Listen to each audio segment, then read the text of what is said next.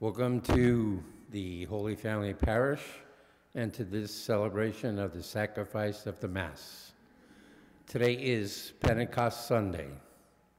The Mass is being offered for Edith Kokot.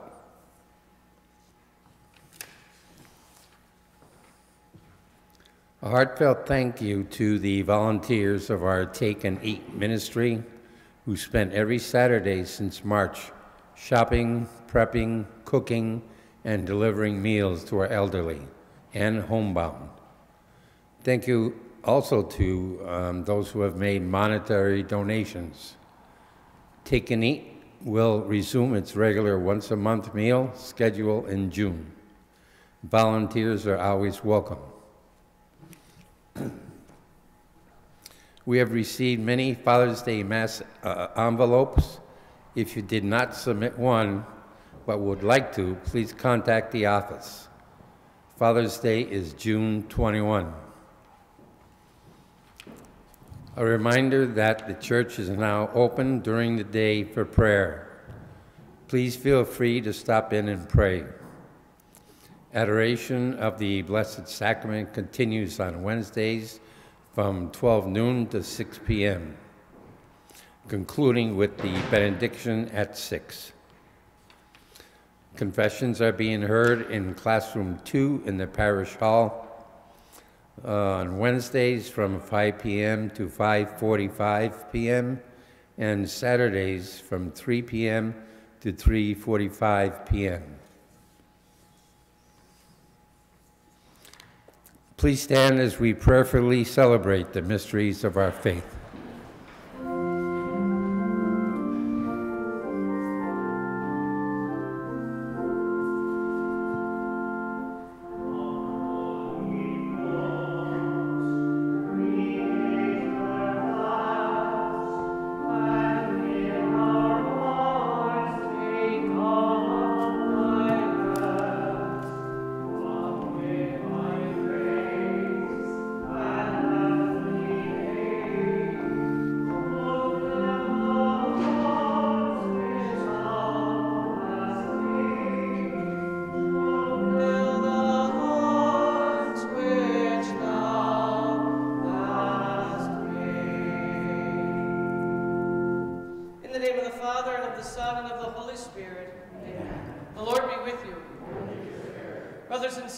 On this joyful Pentecost day, the birthday of the Church, let us acknowledge our sins and so prepare ourselves to celebrate the sacred mysteries.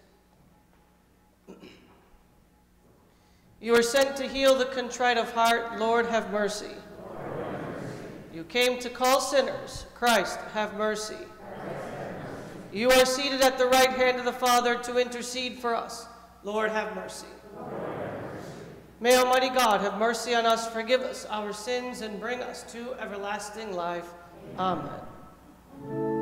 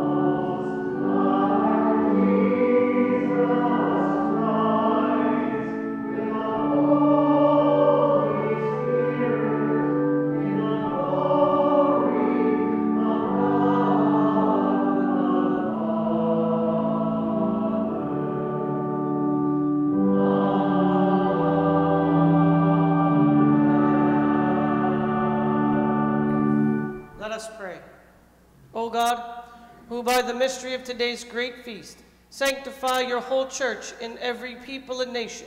Pour out, we pray, the gifts of the Holy Spirit across the face of the earth, and with the divine grace that was at work when the gospel was first proclaimed, fill now once more the hearts of believers. Through our Lord Jesus Christ, your Son, who lives and reigns with you in the unity of the Holy Spirit, one God, forever and ever. Amen.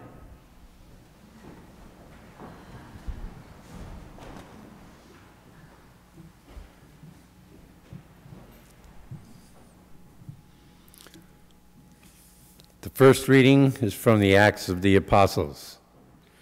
When in time for Pentecost was fulfilled, they were all in one place together.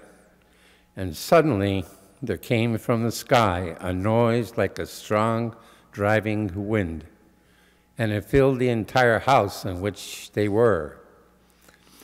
Then there appeared to, uh, to them tongues as of fire which parted and came to rest on each one of them.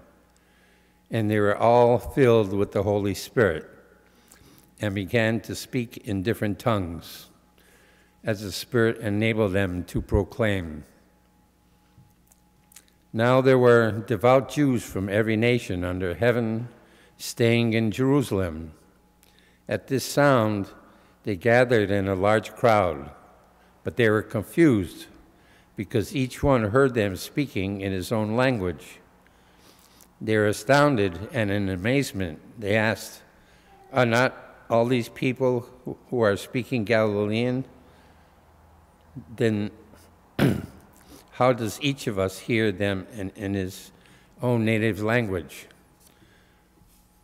We are Parthians, Medes, and Elamites, inhabitants of Mesopotamia Judea, Cappadocia, Pontus, and Asia, Phrygia and Pamphylia, Egypt and all the districts of Libya near Cyrene, as well as travelers from Rome, both Jews and converts to Judaism, Cretans and Arabs, yet we hear them speaking in our own tongues of the mighty acts of God.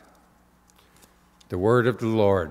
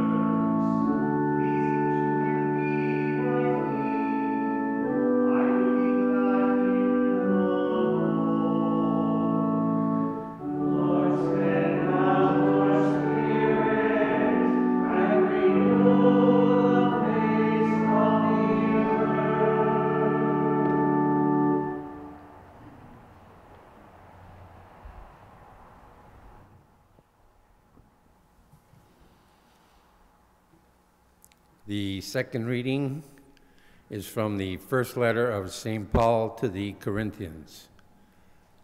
Brothers and sisters, no one can say Jesus is Lord except by the Holy Spirit.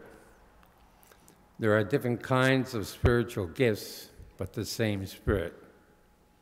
There are different forms of service, but the same Lord. There are different workings, but the name God, who produces all of them, is everyone. To each individual, the manifestation of the Spirit is given for some benefit.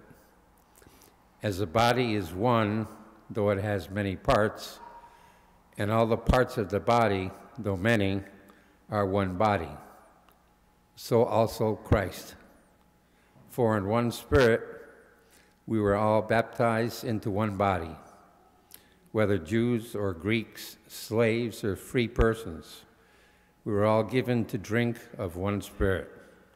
The word of the Lord. be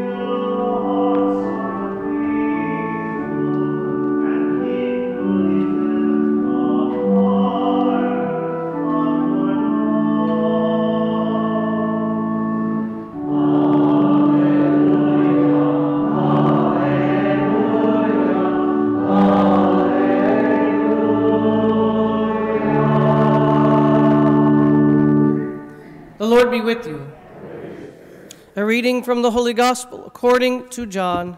Glory to you, O Lord.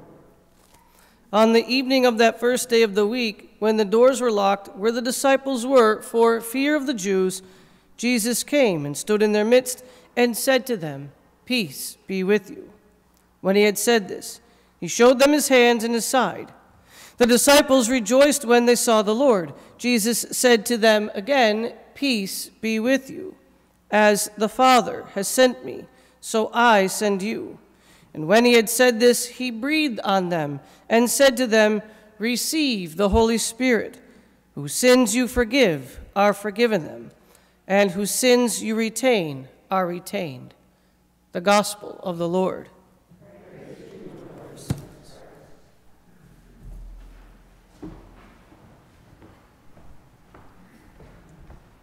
There is one thing I forgot to mention before Mass began.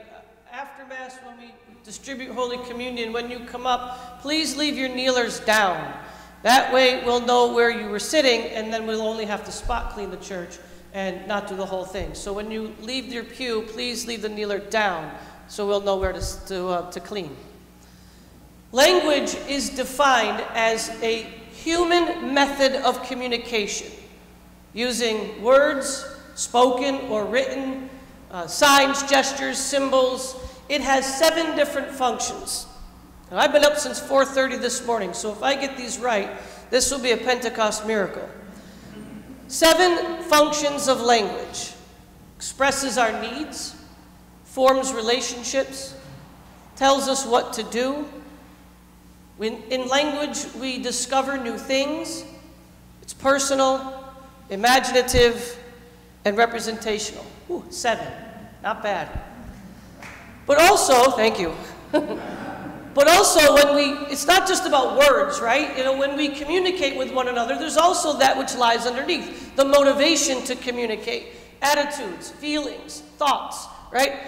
Joy, sorrow, gladness, guilt, shame, love, devotion.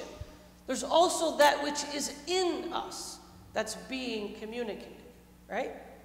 That's why I find it interesting, St. Paul's statement in the second reading in his letter to the Corinthians. No one can say Jesus is Lord except by the Holy Spirit. No one can say, no one can speak, no one can utter, no one can communicate that Jesus is Lord except by the Holy Spirit. Now, this is an interesting statement because, first and foremost, the divine name of God, the name that was given to Moses in the burning bush, Yahweh, I am, was so sacred to the Jews that no one was allowed to speak the name of God but the high priest once a year. So they, they came up with different names for God. Adonai in Hebrew, Kyrios in Greek, meaning Lord. The divine name was so sacred to them. Only God had the authority to speak his name and to those whom he gave permission, namely the high priest. So you can see how in John's gospel, when Jesus identifies himself as Yahweh, why the Jews get a little miffed at him. Why? Because he's identifying himself as God. So, what does St. Paul say? No one can say Jesus is Lord except by the Holy Spirit. In one sense, St. Paul is saying that Jesus' name is synonymous with the divine name, Yahweh. But also, but if no one can say his name except by the Holy Spirit, then God has to first communicate that to us. God first has to give us his own permission to be able to speak his name. He has to communicate to us and in us. And now the question is well, then, how does God communicate? What is the language of God, right? And if language is defined as a human method of communication, what is the divine method of communication? I see it in none other than the sacraments of the church. Right? Think about that for a second. In the sacraments of the church, God communicates himself to us. In the sacraments, we form personal relationship with God. In the sacraments, we discover something new about him. We form a relationship. We discover something new. He tells us what to do and how to, how to live. In confession, think about this. We express our needs, our sins, our desires, our, or the, the bad stuff. And what does God do? But He breathes His forgiveness into our souls. In Holy Communion, we literally take God into ourselves. He communicates to us and in us via the sacraments of our church, right? Baptism, Eucharist, confirmation, confession, anointing of the sick, priesthood, and marriage. This is the language of God. This is the divine method of how he communicates to us and in us. Because in these ways, he wants to get into us. But that requires another piece of the puzzle. That requires our willing participation in the sacraments. We can't accept one sacrament and not another. Right? We can't say that the Eucharist is God, but deprive ourselves of confession. Doesn't work like that. This is God's method of communication, and we have to be willing to receive the language of God. And that's when the fire of the Holy Spirit comes to rest on our souls in the same way it did on that first Pentecost day on the birthday of the church, when the apostles received the fire of the Holy Spirit, they've received that fire and they went out and spread that fire. And that's the point. When the Spirit of God gets into us, when He lights his fi- the fire of His love into us, that fire has the ability to spread. That is when we can say things like, Jesus is Lord, because He is in us. Remember, it's not just words that we're communicating, it's the belief, the conviction, the passion, the love, the devotion of our God that is in us.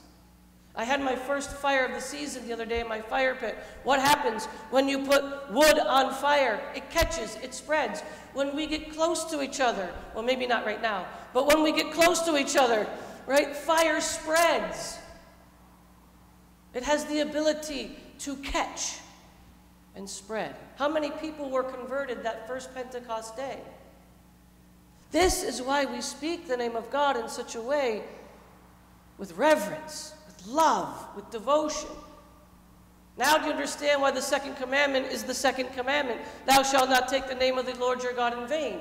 Because if he do, he's not in you.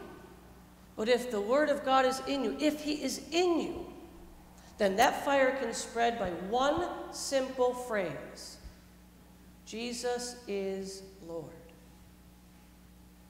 Come, Holy Spirit, fill the hearts of your faithful, and kindle in them the fire of your love. Send forth your Spirit, and they shall be created, and you shall renew the face of the earth.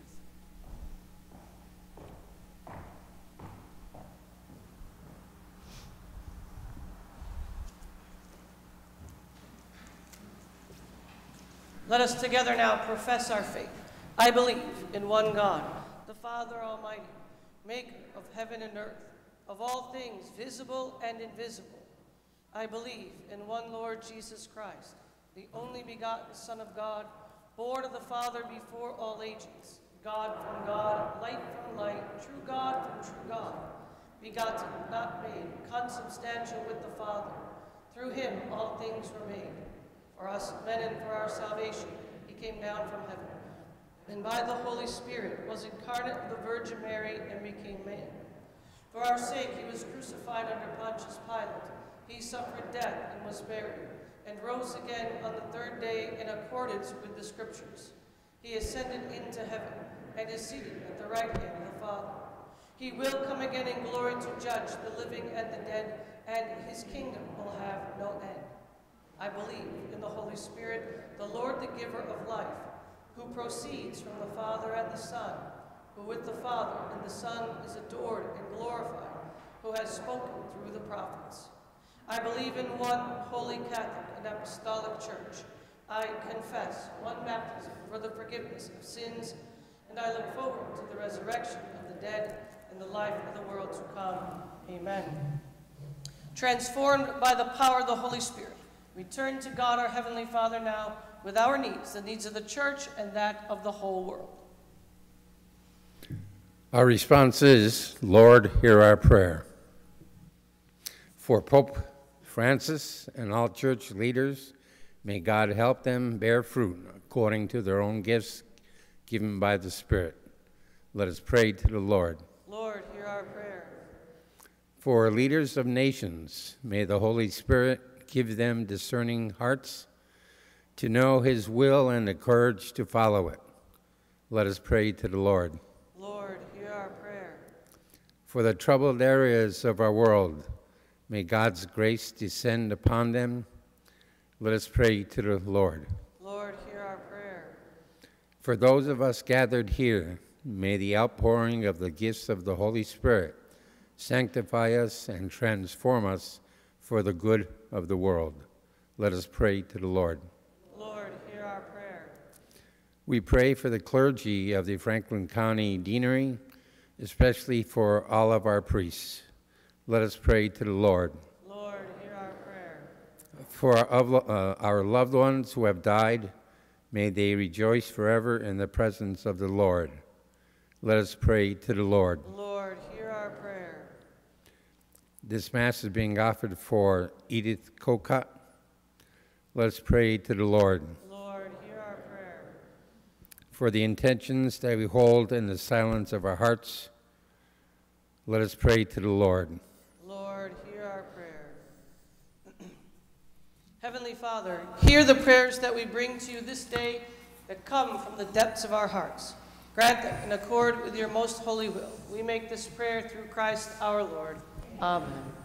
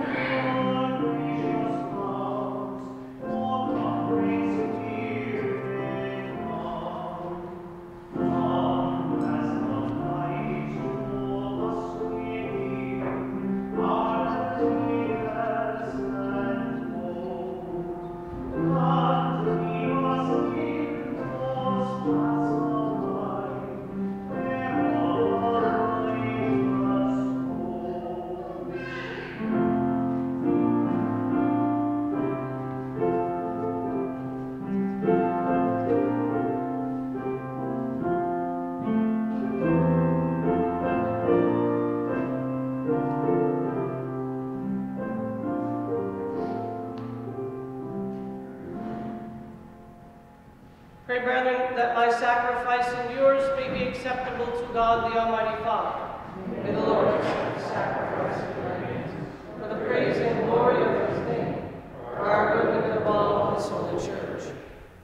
Grant, we pray, O Lord, that as promised by your Son, the Holy Spirit may reveal to us more abundantly the hidden mystery of this sacrifice and graciously lead us into all truth through Christ our Lord. Amen. The Lord be with you. Lift up your hearts. Let us give thanks to the Lord our God. It is truly right and just, our duty and our salvation, always and everywhere to give you thanks, Lord, Holy Father, Almighty and Eternal God, for bringing your paschal mystery to completion. You bestowed the Holy Spirit today on those you made your adopted children by uniting them to your only begotten Son. This same Spirit, as the church came to birth, opened to all peoples the knowledge of God and brought together the many languages of the earth in profession of the one faith. Therefore, overcome with paschal joy, every land, every people exults in your praise, and even the heavenly powers with the angelic hosts sing together the unending hymn of your glory as they acclaim.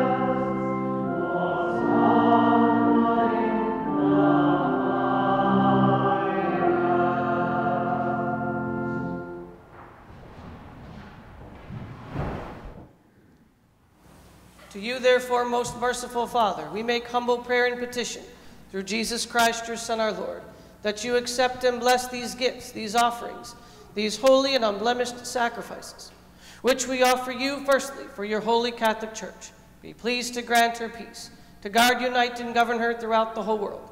Together with your servant Francis, our Pope, and Mitchell, our Bishop, and all those who, holding to the truth, hand on the Catholic and Apostolic faith. Remember, Lord, your servants and all gathered here whose faith and devotion are known to you. For them we offer you this sacrifice of praise, or they offer it for themselves and all who are dear to them, for the redemption of their souls and hope of health and well being, and paying their homage to you, the eternal God, living and true. Celebrating the most sacred day of Pentecost, on which the Holy Spirit appeared to the apostles in tongues of fire, and in communion with those whose memory we venerate, especially the glorious ever Virgin Mary, Mother of our God and Lord, Jesus Christ, and blessed Joseph, her spouse, your blessed apostles and martyrs, Peter and Paul, Andrew, James, John, Thomas, James, Philip, Bartholomew, Matthew, Simon, and Jude, Linus, Cletus, Clement, Sixtus, Cornelius, Cyprian, Lawrence, Chrysogonus, John, and Paul, Cosmas, and Damian, and all your saints. We ask that through their merits and prayers in all things, we may be defended by your protecting help. Therefore, Lord, we pray, graciously accept this oblation of our service and that of your whole family. Order our days in your peace and command that we be delivered from eternal damnation and counted among the flock of those you have chosen. Be pleased, O God, we pray, to bless, acknowledge, and approve this offering in every respect. Make it spiritual and acceptable, so that it may become for us the body and blood of your most beloved Son, our Lord Jesus Christ. On the day before he was to suffer, he took bread in his holy and venerable hands, and with eyes raised to heaven, to you, O God, his almighty Father, giving you thanks, he said the blessing, broke the bread, and gave it to his disciples, saying, Take this, all of you, and eat of it. For this is my body, which will be given up for you.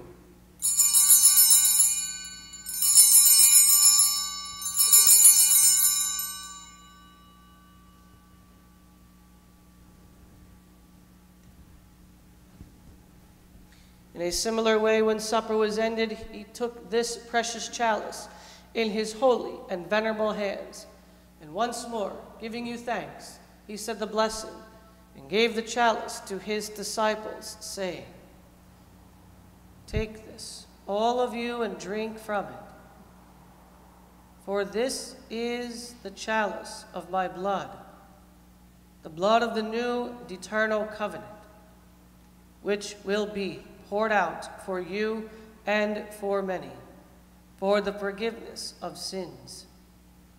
Do this in memory of me.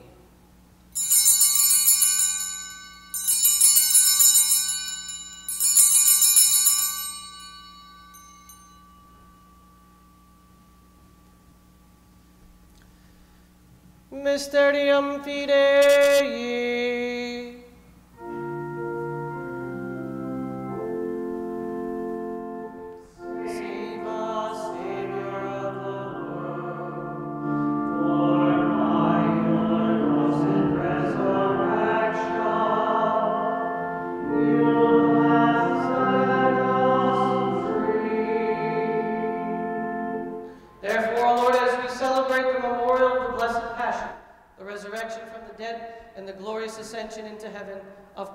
Son, our Lord, we, your servant and your holy people, offer to your glorious majesty from the gifts that you have given us this pure victim, this holy victim, this spotless victim, the holy bread of eternal life and the chalice of everlasting salvation.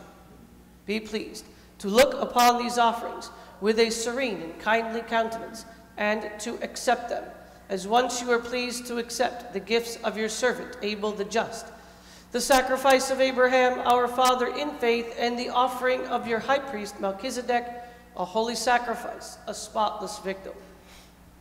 In humble prayer, we ask you, Almighty God, command that these gifts be borne by the hands of your holy angel to your altar on high, in the sight of your divine majesty, so that all of us who through this participation at the altar receive the most holy body and blood of your Son may be filled with every grace and heavenly blessing. Remember also, Lord, your servants who have gone before us with the sign of faith and rest in the sleep of peace. Grant them, O Lord, we pray, and all who sleep in Christ, a place of refreshment, light, and peace. To us also, your servants, who, though sinners, hope in your abundant mercies, graciously grant some share in fellowship with your holy apostles and martyrs, with John the Baptist, Stephen, Matthias, Barnabas, Ignatius, Alexander, Marcellinus, Peter, Felicity, Perpetua, Agatha, Lucy, Agnes, Cecilia, Anastasia, and all your saints. Admit us, we beseech you, into their company, not weighing our merits, but granting us your pardon through Christ our Lord, through whom you continue to make all these good things, O Lord, You sanctify them, fill them with life, bless them, and bestow them upon us. Through him and with him and in him, O God, Almighty Father, in the unity of the Holy Spirit, all glory and honor is yours forever and ever. Amen.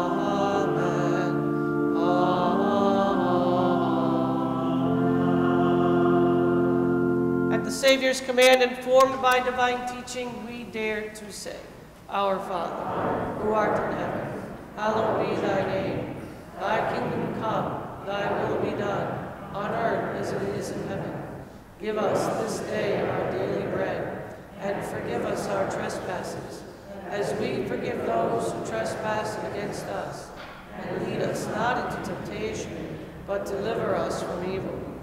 Deliver us, Lord, we pray, from every evil. Graciously grant peace in our days, that by the help of your mercy we may be always free from sin and safe from all distress, as we await the blessed hope and the coming of our Savior, Jesus Christ. For the kingdom, the power, and the glory are yours now and forever. Lord Jesus Christ, who said to your apostles, Peace I leave you, my peace I give you. Look not on our sins, but on the faith of your church, and graciously grant her peace and unity in accordance with your will, who live and reign forever and ever. Amen. The peace of the Lord be with you always.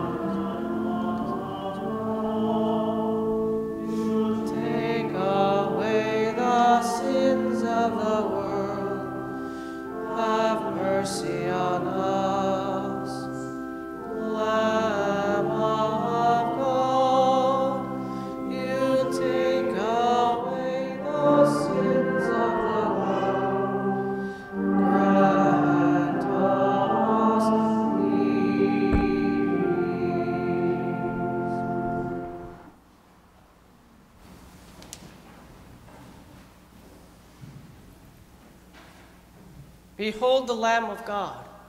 Behold him who takes away the sins of the world. Blessed are those called to the supper of the Lamb. Lord, I am not worthy that you should enter under my roof, but only say the word, and my soul shall be healed.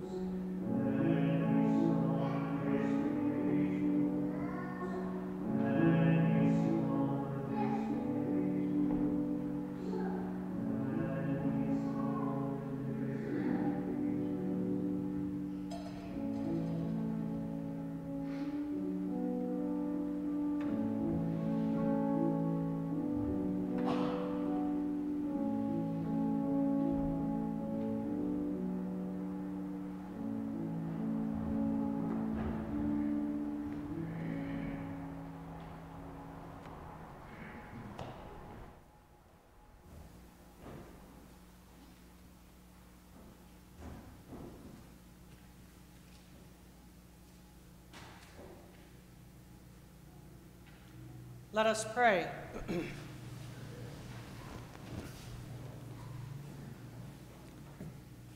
O God, who bestow heavenly gifts upon your church, safeguard, we pray, the grace you have given, that the gift of the Holy Spirit poured out upon her may retain all its force, and that this spiritual food may gain her abundance of eternal redemption.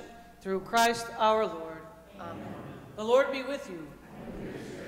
Bow your heads for the blessing. May God, the Father of lights, who was pleased to enlighten the disciples' minds by the outpouring of the Holy Spirit, the Paraclete, grant you gladness by his blessing, and make you always abound with the gifts of the same Spirit. Amen. May the wondrous flame that appeared above the disciples powerfully cleanse your hearts from every evil and pervade them with its purifying light. Amen. May God, who has been pleased to unite many tongues in the profession of the one faith, give you perseverance in that same faith, and by believing, may you journey from hope to clear vision. Amen. And may the blessing of Almighty God, the Father, the Son, and the Holy Spirit come upon you and remain with you forever. Amen. Go in peace. Alleluia. Alleluia.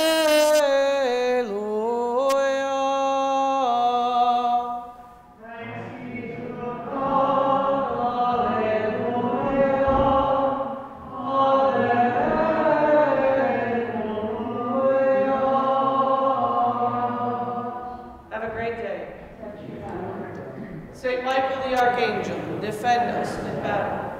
Be our protection against the wickedness and snares of. May God